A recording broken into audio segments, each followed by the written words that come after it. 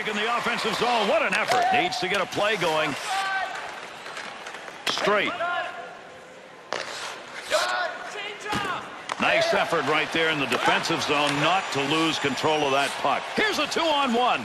Tremendous scoring chances. Look at them. He scores!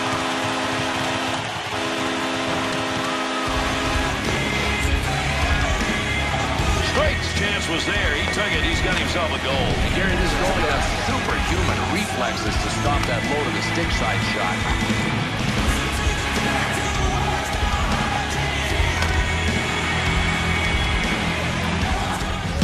Here we go, we coming for the number one spot. The number one spot. The number one spot. And we gon' keep it going till we sitting on top. We sitting on top. Sitting on top.